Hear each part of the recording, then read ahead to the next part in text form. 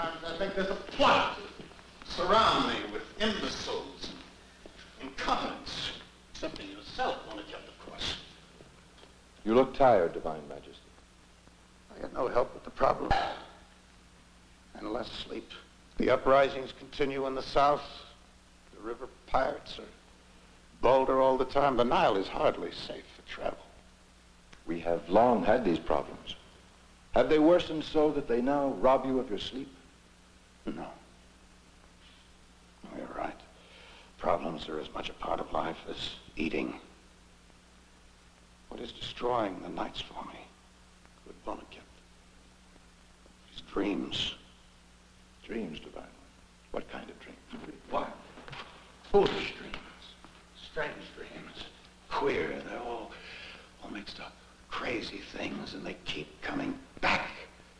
Now they're even beginning to intrude on my waking hours. Have you told these things to your astrologers and magicians? Oh, yes, of course, but they're all useless, expensive idiots. They give me gibberish for answers. Lies, excuses. I don't think they can divine the meaning of my dreams any more than I can. I know one who can, Divine Majesty.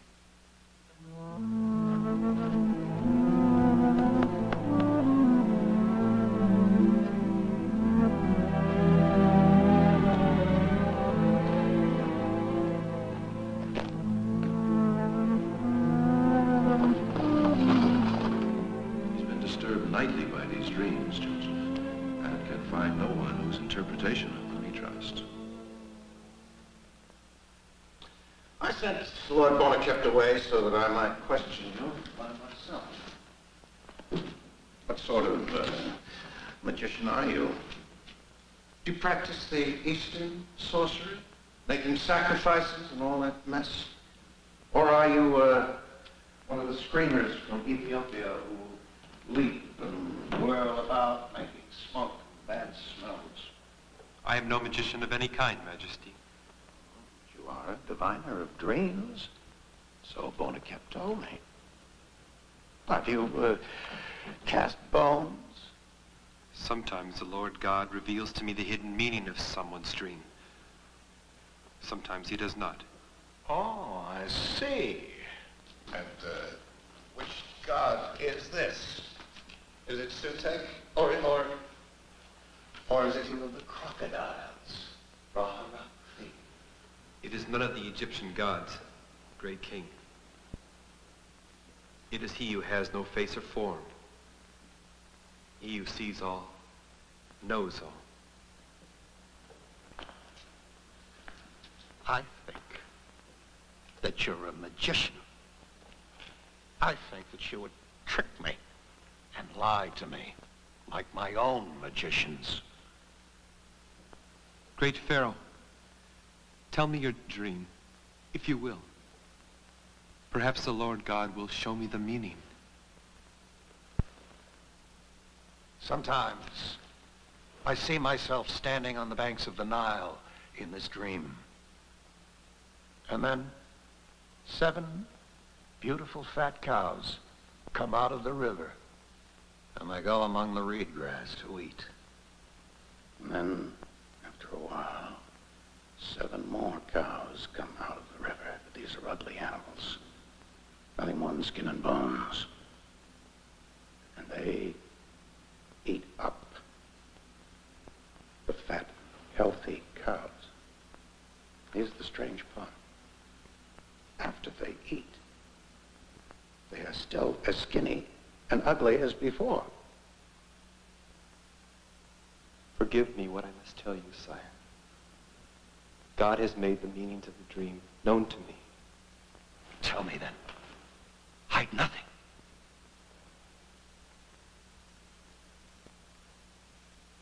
For the seven years that come now,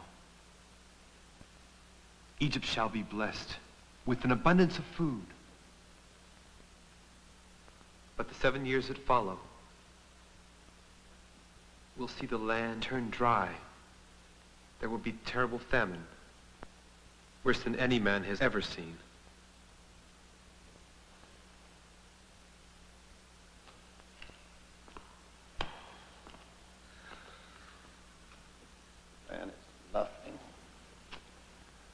Against the perfidy of fate. The gods will glut us with too much for seven years, and then they will kill us with too little for seven more. What's to be done? What answers are there to such curses? Discover an exceptional man, great Lord of the Nile. Charge him to appoint overseers. Let them gather one-fifth of all the crops for the next seven years. Let these stores be saved and guarded in the cities for time of starvation. Then Egypt shall be saved. Yes. An exceptional man. An honest man. Send in Lord Bonacipt.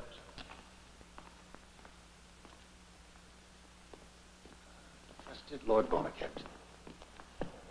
I've called you in to witness this investiture. You are my exceptional man, Joseph. From this moment on, you will be second only to me in this kingdom. Bonacipt will guide you through the maze of politics and problems with this ring. Joseph will speak for me wherever he goes.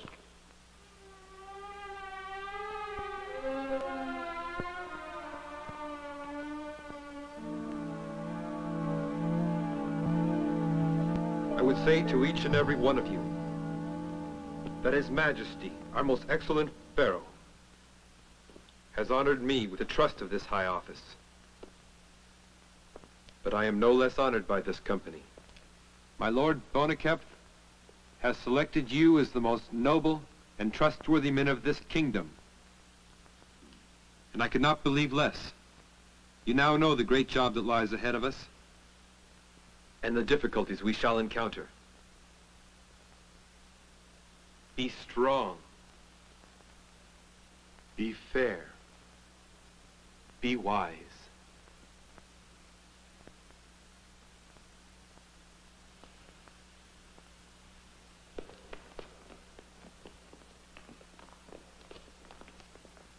Could this all be true, Joseph? What? I, I mean, thought. Zono. Zomab. Zempenet. I, I, my thick tongue will never get around that name. For the Pharaoh has given me a new name, I am still Joseph. Bless your years, Joseph. Except for you, Joseph. I would still be a filthy wreck wallowing in my own misery and cruelty. My Lord High Deputy. I do not know why you have brought me to these honors. I'm shamed and fearful. I did only evil to you, sending you to prison when I knew in my heart you were not guilty of any crime. Be at ease, Potiphar. I chose you because of your honesty and ability. You are wanted and welcome. Shall we study this business now, my Lord Zatman?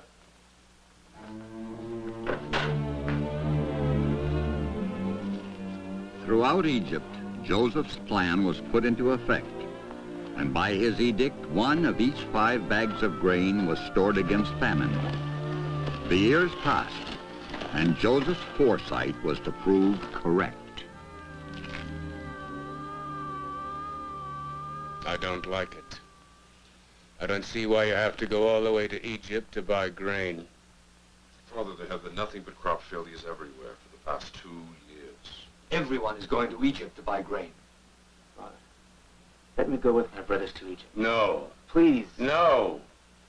When Joseph was lost to me, I thought I would die or go mad. I could not live if you two were lost. Peace be with you.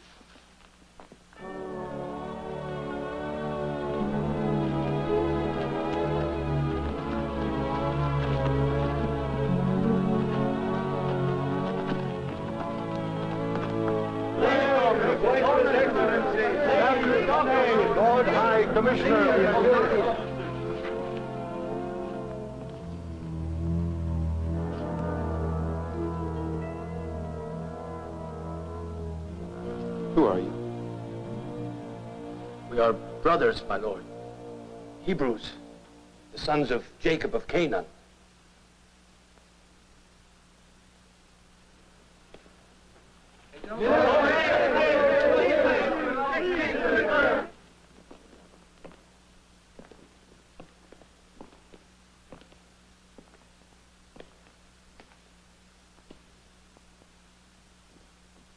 Those men I talk to outside. They are my brothers. They are the past that I have ached to catch up with for years.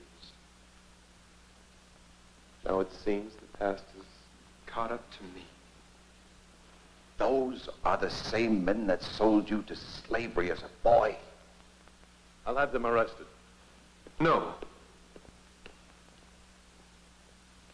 Keep my secrets with me, friends.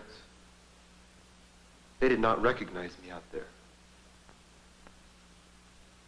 Let me find out what kind of men they have become. Architect, bring them to me.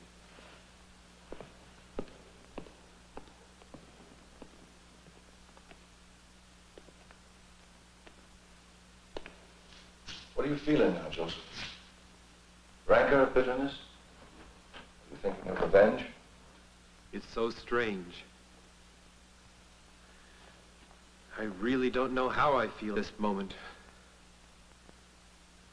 Except curious. My Lord Zaphnath-Paaneah, my Lord Commissioner, three men of the Hebrews, beg audience for your petition.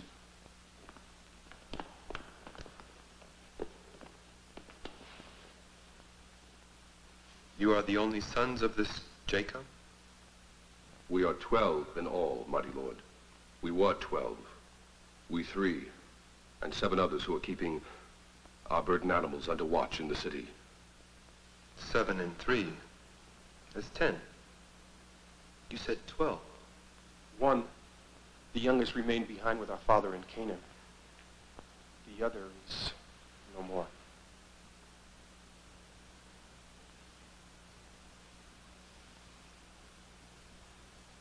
Are these the same men your soldiers have been following? The ones you thought were spies. Yes, yes, my lord. I'm sure they are the same men. Gracious Lord, twice blessed son of the Nile, there's some mistake. We only came to buy wheat for our people before they starve. Nothing more. Why would we be spies, Highness? How could we be? Silence! Hold your tongues. How dare you cry out in my presence? Oh, yes, you are spies well enough. It is written all over you. You have come to spy Egypt out. We are not fools here. We shall see how we treat spies in Egypt. Guards!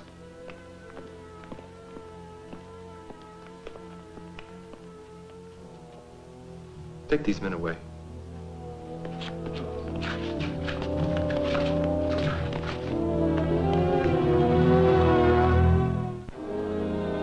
Outside now. Architect, you are an expert in these matters.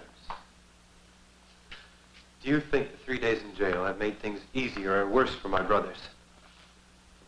They are very worried men, Joseph. They have no idea that you are their brother or what is going to happen to them. So far, so good then. Bring them to me.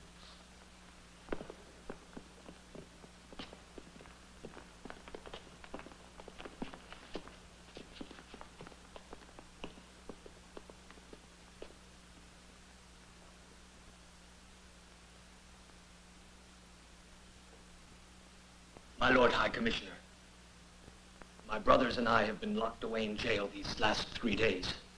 Our other brothers who guard our animals know nothing of what's happened to us. They have been informed.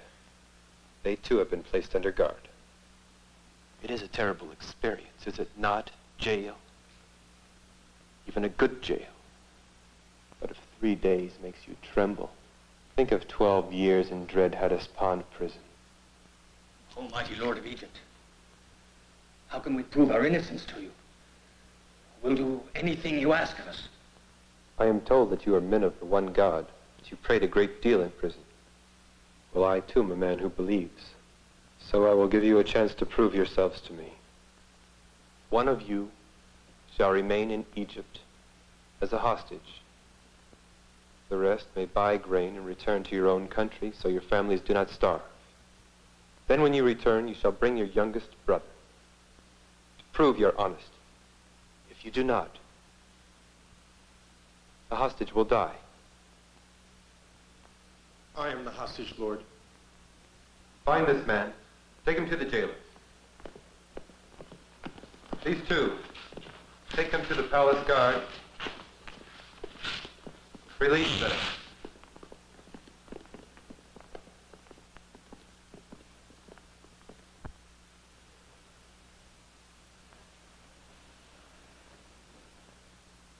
I must Hargatep. I must find out what kind of men they really are now. Do they regret what they did to me? Or would they do such again? Perhaps Benjamin. Everything is as you ordered. Their money is returned to them, hidden in the grain sacks. They won't know it until they empty the grain.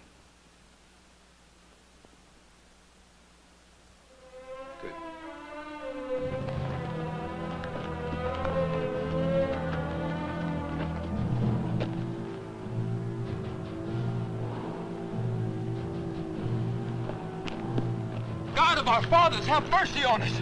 Look, brothers, look. Silver?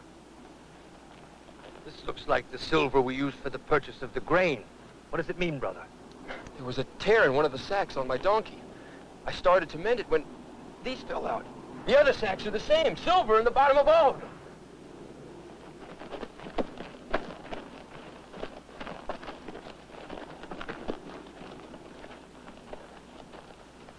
It's too late to go back. We've come too far. Even now, Lord Safnath must think us to be the worst of liars and the worst of thieves. What are we going to do? We'll be home in two more days. Let our father Jacob decide what's to be done.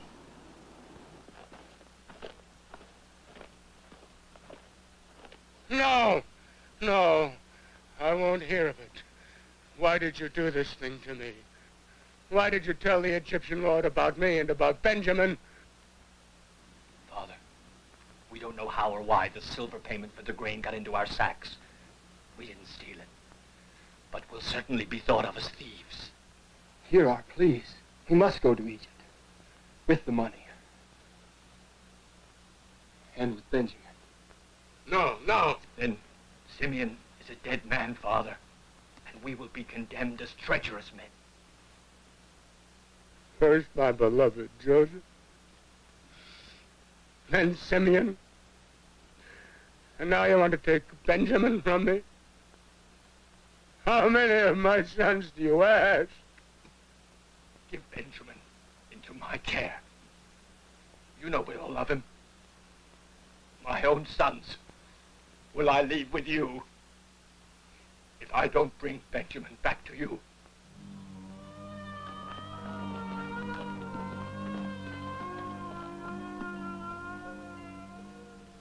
Crimes that you have apparently committed, I could send you all to prison for the rest of your lives. Great Lord of Egypt, live forever. Give us your permission to speak. Silence! I'm out of patience and understanding with you altogether. But I am a merciful man. I want you all to leave Egypt and never come back. Except you. This young man will remain and be my slave.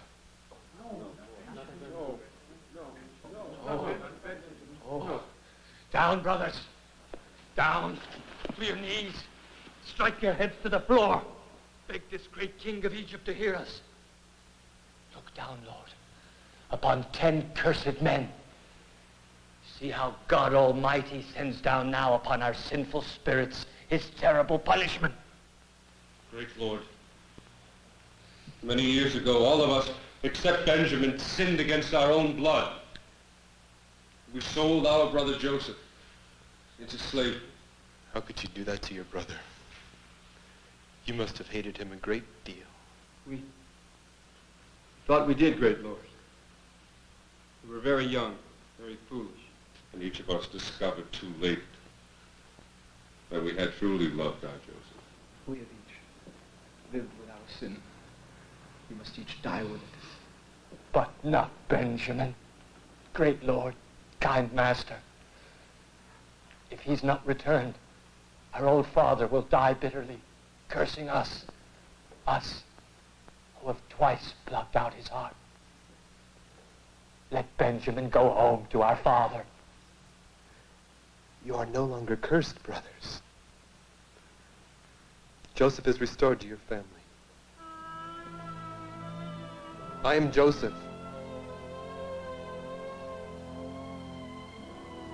Standing sheaf of wheat that all the others bowed down to. This dream has been fulfilled.